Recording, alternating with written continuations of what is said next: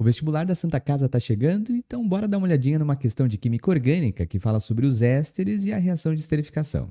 Eu sou Igor, professor de Química, e se você ainda não é inscrito aqui no nosso canal, se inscreva. E lembre-se sempre de deixar aquele like, que ajuda muito então a gente continuar fazendo vídeos por aqui. Bora lá então? Na questão 59 da Santa Casa de 2024, ele diz que a figura apresenta a fórmula estrutural de um monoterpeno, composto natural que é extraído de certos tipos de plantas, empregado na indústria farmacêutica para aumentar a absorção cutânea de fármacos. Ele diz que o monoterpeno apresentado é um éster e pode ser sintetizado a partir da reação entre o ácido etanóico e um álcool. A fórmula molecular desse álcool é o. Bom, primeira coisa, tem aparecido muitas e muitas questões da banca VUNESP que pedem para a gente fazer a identificação da função orgânica dos compostos. Observe que nós temos aqui um átomo de carbono, nós temos então a carbonila C com dupla O e o oxigênio aqui do lado. C com dupla O oxigênio entre átomos de carbono, nós temos a função orgânica éster. E uma das coisas mais importantes é saber de onde é que os ésteres eles são aí então produzidos sintetizados. Nós sabemos que a reação que forma um éster é conhecida como sendo uma reação de esterificação, a síntese do éster. Então, esterificação.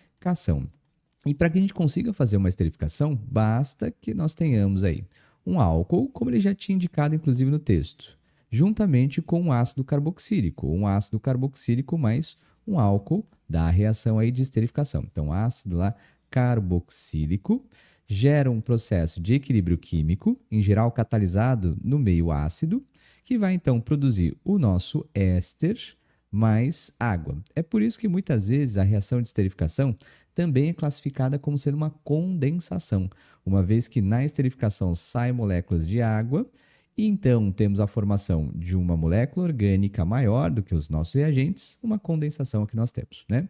De maneira genérica, então vou pegar aqui né, um ácido carboxílico, ó, C com dupla O, só para ficar mais fácil a identificação, o grupo H. Né? Nós temos a carboxila de um ácido carboxílico. Eu vou botar para reagir com álcool genérico, que eu vou chamar aqui de R', né, para diferenciar do nosso R aqui do ácido carboxílico. Bom, como é que a reação acontece? Nós sempre vamos ter o grupo OH do ácido carboxílico interagindo com o hidrogênio do nosso álcool. HOH, nós temos a formação de H2O, né? E o restante vai ser o nosso éster. Então, vou começar aqui da esquerda, ó, R, C com dupla O, tá aqui.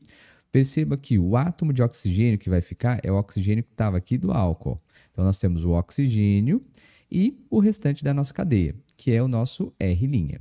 O subproduto, então, da reação é a nossa água. Vou destacar aqui de cor azul, ó, HOH, H2O que nós temos. Então, toda vez que a gente observa e bate o olho num éster, a gente tem que ficar ligado que essa primeira parte, ó, até chegar a ser com dupla O, então a parte da carbonila, ela é derivada sempre do ácido carboxílico, né? Então, siga pelas cores. Ó. Essa região que eu vou destacar aqui em preto, R, C com dupla O, ela é derivada justamente do nosso ácido. Então, essa região aqui deriva do ácido. E o restante da minha molécula, vou pintar aqui de verde, né? O oxigênio juntamente com R' é derivada do álcool. Então, batendo o olho aqui nessa região, então já sei de onde ela é. Sendo assim, voltando lá no nosso éster, né?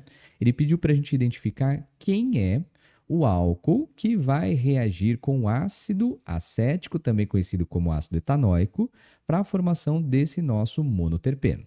Né?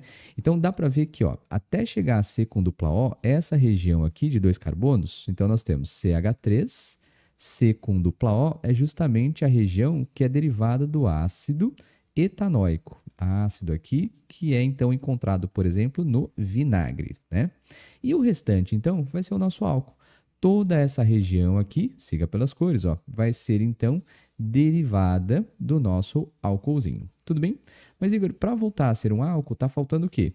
O oxigênio nós já temos, então só está faltando o hidrogênio. Volta o hidrogênio na estrutura e a gente observa então quem que é o álcool que deu origem a esse nosso composto, né? Então, vou fazer dessa forma. Ó. Tem um anel aqui de seis carbonos, né? Pendurado aqui, nós temos um grupo isopropil. Aqui nós temos um grupo metil para baixo. E aqui na posição, então, né? Posição 1,2 nesse caso aqui, posição 2, né? Considerando aqui o nosso grupo isopropil.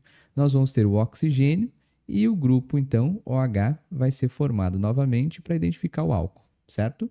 Mas o que ele quer mesmo é a identificação da fórmula molecular. Então nós vamos ter, nesse carbono nós temos um CH3, aqui do lado nós temos também o outro CH3, esse carbono já fez uma, duas, três ligações, falta um hidrogênio.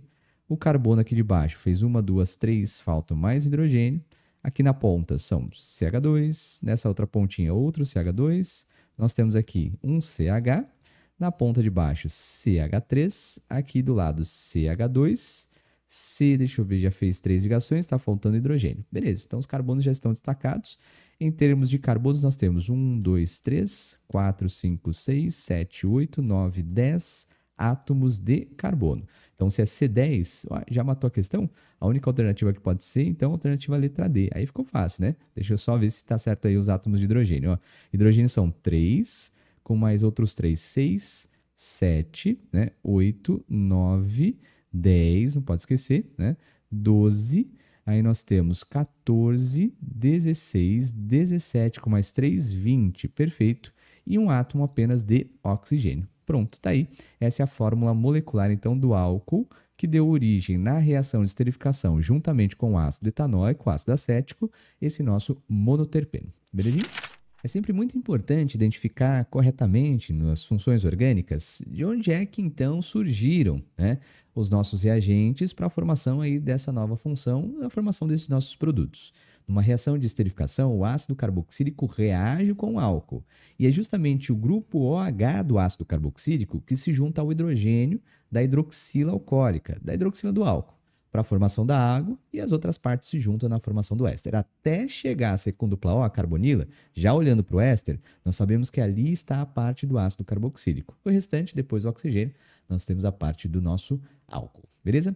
É isso aí. Para você que está se preparando para a Santa Casa, fica ligado. Vai ter mais resoluções aí, mais lives também para a gente falar sobre as bancas VUNESP ou provas da banca VUNESP. Não esqueça de deixar aquele like e, claro, se inscrever aqui no nosso canal. Até a próxima. Tchau.